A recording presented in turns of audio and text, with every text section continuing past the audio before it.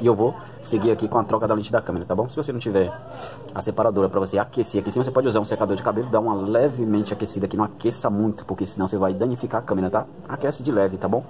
E depois de aquecer, você vai pegar a ponta aí de um estilete ou uma gilete, alguma coisa e vai apoiar aqui do lado aqui, ó, e vai levantar a lente da câmera, tá? Levantou a lente da câmera aqui, ó. Você ó, vai tirar com cuidado, tá? Ó, bem fácil, gente, não tem segredo nenhum trocar isso daqui, tá bom? Você vai economizar uma grana aí na assistência, se você trocar você mesmo, tá? Lente da câmera você tem, ó, na cor, ó. Você vai colocar. Aqui já vem com a, com a dupla face aqui atrás, mas aí você pode utilizar um pouquinho de cola aí, porque a dupla face também não é muito confiável, ela é fraca. Aí você passa um pouquinho de cola, tá? Eu tô utilizando aqui, ó, vou mostrar pra vocês agora.